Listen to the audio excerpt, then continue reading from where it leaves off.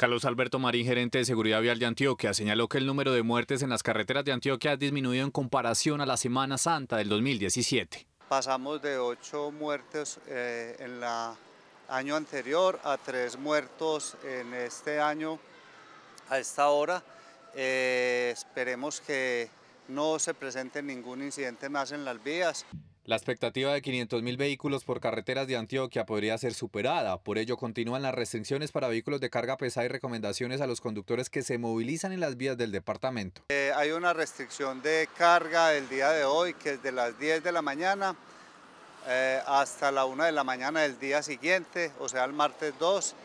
Eh, seguimos trabajando por la seguridad vial y esperamos que la gente y el llamado es al control de la velocidad, eh, al respeto por las normas y recuerden que hay que descansar muy bien cuando regresen a sus destinos. Según la Agencia de Seguridad Vial de Antioquia, a pesar de los incidentes que se han reportado en la vía, los viajeros han tenido comportamientos sobresalientes en carretera.